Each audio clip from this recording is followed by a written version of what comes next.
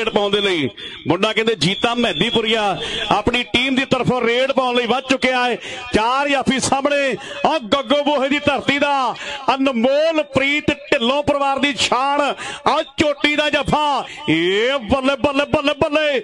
ਲੱਗਦਾ ਜ਼ੋਰ ਮੇਰੇ ਮਿੱਤਰੋ ਖੇਡ ਦੇ ਮੈਦਾਨ ਵਿੱਚ।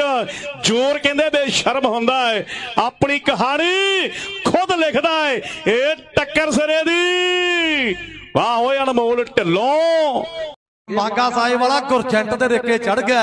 ਇਹ ਵੀ ਪਤੰਦਰ ਵੱਡੇ ਵੱਡੇ ਜਾਮ ਕਰਦਾ ਹੈ। ਰੇਡ ਲਈ ਪੱਧਰੀ ਕਲਾ ਵਾਲਾ ਫਿਰ ਤੋਂ ਵੱਜ ਚੁੱਕਿਆ ਹੈ ਕਿ ਗਿੱਦੜੀ ਦਿੰਦੀ ਹੈ ਜਨਮ ਗਿੱਦੜਾਂ ਨੂੰ। ਸ਼ੇਰ ਨਹੀਂ ਸਕਦੀ ਹੈ ਕਰ ਸ਼ੇਰ ਪੈਦਾ।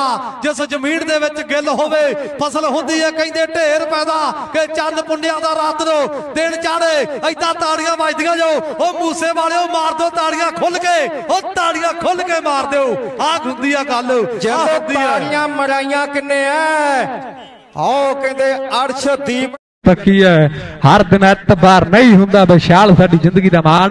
ਦਿਲੋਂ ਧੰਨਵਾਦ ਕਰਦੇ ਹਾਂ ਵਿਸ਼ਾਲ ਸੰਧੂ ਆਇਆ ਹੋਇਆ ਪਰ ਮੈਂ ਦੇਖਦਾ ਖੇਡਦਾ ਮੈਦਾਨ ਵਿੱਚ ਇਸੇ ਪਿੰਡ ਵਾਲਾ ਨਾਜ ਬਣ ਕਬੱਡੀ ਭਰ ਰਿਹਾ ਹੈ। ਮੈਂ ਦੇਖਦਾ ਗੋਪੀ ਦੀ ਕਬੱਡੀ ਪਾਈ ਹੋਈ ਹੈ।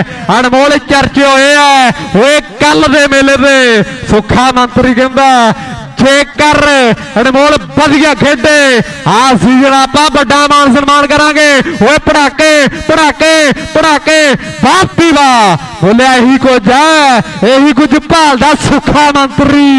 ਇਹੀ ਕੁਝ ਭਾਲਦਾ ਆਸਟ੍ਰੇਲੀਆ ਵਾਲਾ ਅਰਸ਼ ਬਾਈ। ਪਰ ਖੇਡ ਦੇ ਮੈਦਾਨ ਵਿੱਚ ਚੋਟੀ ਦਾ ਜੱਫਾ ਲਾ ਗਿਆ ਸਾਡਾ। ਅਨਮੋਲਾ ਭਾਈ।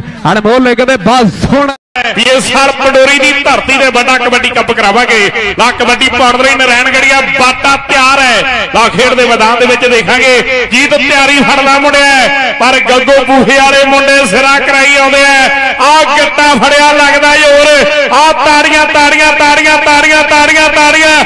ਰੁਕਣੀਆਂ ਨਹੀਂ ਚਾਹੀਦੀਆਂ ਤਾੜੀਆਂ ਤਾੜੀਆਂ ਰੁਕਣੀਆਂ ਨਹੀਂ ਚਾਹੀਦੀਆਂ ਮੇਰੇ ਪੰਜਾਬੀ ਵੀਰੋ। ਉਹਨੂੰ ਸਾਹ ਲੱਗੇ ਜਿਹੜਾ ਤਾੜੀਆਂ ਰੋਕੇ ਤਾੜੀਆਂ ਰੋਕਣੀਆਂ ਨਹੀਂ ਚਾਹੀਦੀਆਂ।